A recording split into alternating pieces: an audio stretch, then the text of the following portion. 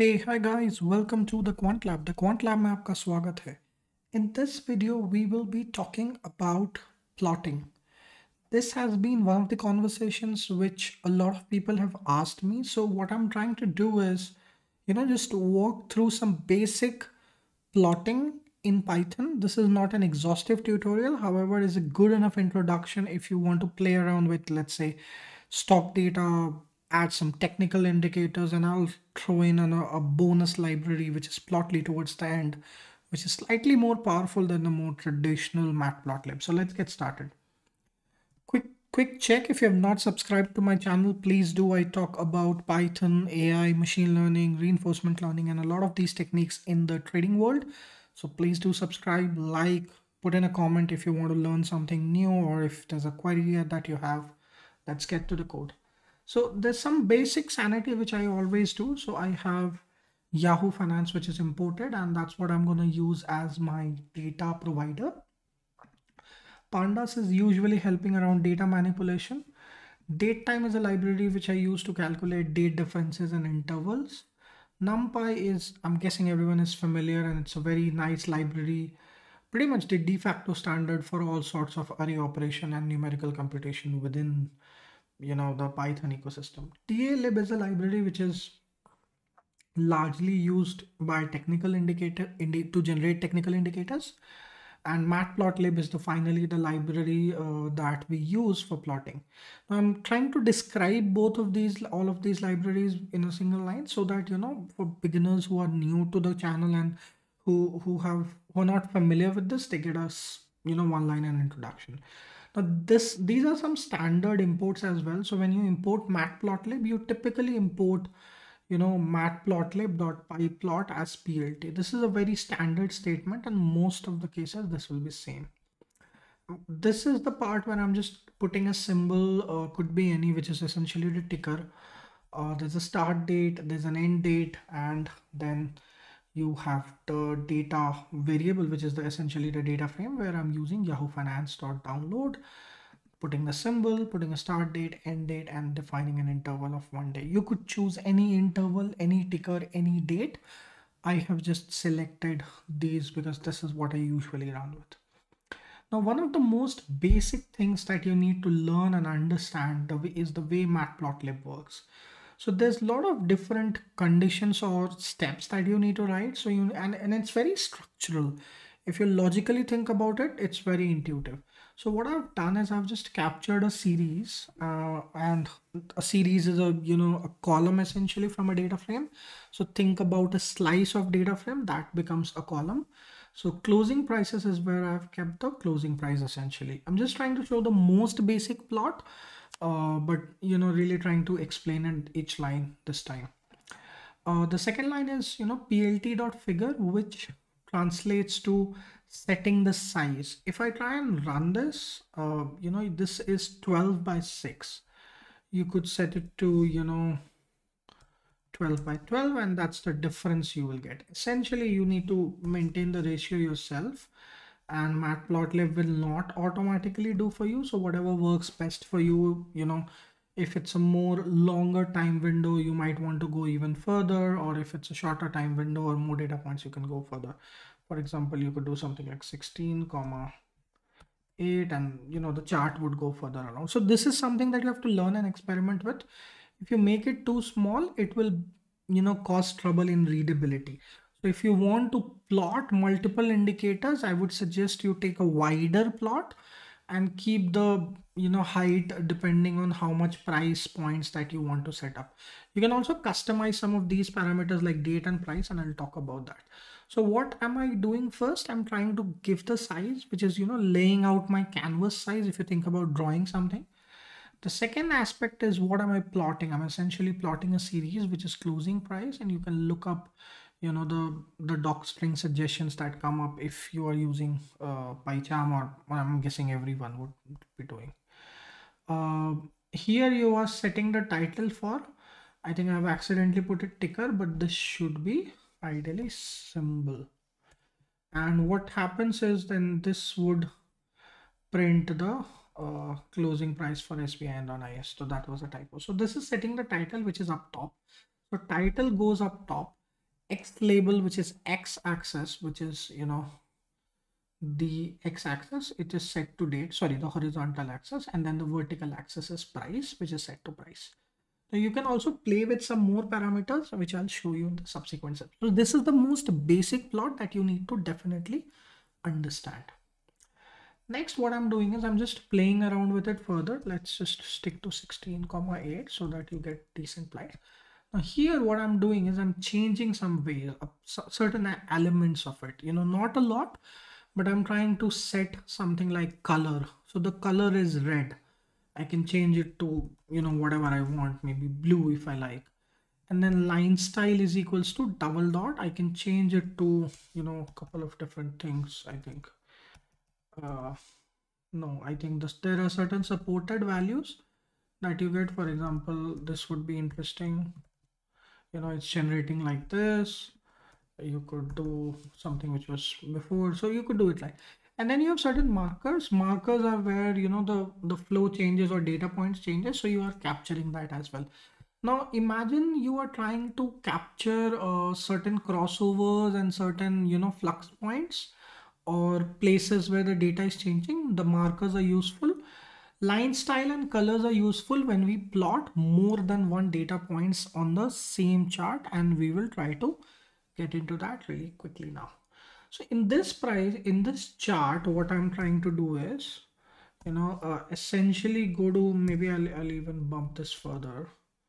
So I'll do uh, 20 and 8 so that this is really a long chart. So I've calculated two SMAs, uh, two uh, moving averages. One is SMA 5 and EMA 12. I don't intend to talk about strategies right now. But if you think what I've done is, this is a relatively complex chart from a, code perspective. I have this three different data points that have been essentially uh, plotted and then you have uh, the colors for them are different and stuff like that you could you could obviously play with these parameters as well for each of them but I've, I've just not done that. You you can very happily change that here as you can see that it's the same parameters. So I'm again trying to follow the same structure. You define the layout you define you say what the plot is about and then as many series as you are uh, plotting call plt.plot. So the first line is plotted by closing price. The label is close, which is mentioned in blue. Since the color is not specified, it's defaulting to a color. Then you have orange, which is SMA 5 and EMA 12, which is green. And then you have the legends that I'm trying to set, which is the title, X label and Y label. And eventually you have to, I, I think I forgot to talk about it. You need to do plt.show. If you don't do this, ideally uh, I, I have never actually gotten a hang of this. Sometimes it works and in certain places it doesn't work. So it's always a good idea to put plt.show which is putting the plot out. All right uh, let's move further.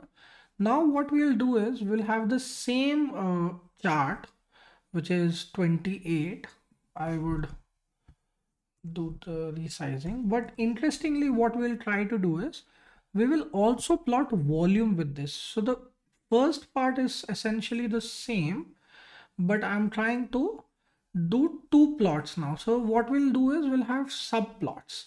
So for each subplot, we have different elements. So we have one first plot and what sub what does subplot mean? Think of a big canvas and you have drawn two, you know, you have stuck two different papers and both of these will be used to represent different elements. So the first is closing price and the second is the volume analysis. So how have I done it? I've called subplots here and essentially subplots will give you a, you know, a wrapper which provides additional behavior, which is essentially translates to gives you more plots to work with, right? And uh, you give it a number, you can just uh, use some three digits to start with it. So this is 211, the next would be 212 and something like that. And the next chart, these are, uh, while these are line charts, the second one is a bar chart, hence plt.bar. There's a lot of different functions like that. For example, you can do plt dot, uh, and you will see all sorts of options. You have bar, you have bar labels, tons of different plot types. Um, you can check out the, about this in the documentation. You, if you if you know what kind of, uh, for example, uh, what what kind of plot you're trying to do, you should be able to find the corresponding to it. For example, you see there's a violin plot, there's V lines, there's tons of different kinds of plots. So we'll not go into the types of plots. You can always check that out on online documentation and figure it out. So this is how you plot two more two charts essentially within the same plot. And now we have reached to a very good degree of complexity. If you think about it, we have two plots. We are plotting, you know, three columns or three series in the first chart and a fourth one in the second subplot. Both of these are, you know, have the same x-axis, but the volume and price y-axes are different. So this is a fairly complex plot. Now what we'll do is we'll just add and try and look at two different ways of doing the same thing and we'll call it a go. Again, if you've stuck me for so long, thank you for watching so far. Please continue and like and subscribe. So now what I'm trying to do is just doing the same thing with a little different, uh, you know, flavor around it. Trying to do a, a little bit of formatting, a little bit of coloring, etc. So here I've just done open and close. So if you see the structure is same, you see there's a grid here which is set to true. Now if I remove the grid, this will look much like the previous plot. So what I've done is I've added a grid here. Now, when do you need a grid? If you want to, you know, do some demarcations or, you know, do, do some studies within a certain time period, here the grid or a, essentially line step represents a month change. And uh, the, the idea to show this is Matplotlib is intelligent enough to automatically put it. All right. That's the first part. The second part is what I've done is if you see there's a gray color line running here, right? So what is happening is this is trying to give you a zone of where things are moving. Now these might look similar to Bollinger Bands, but they are not.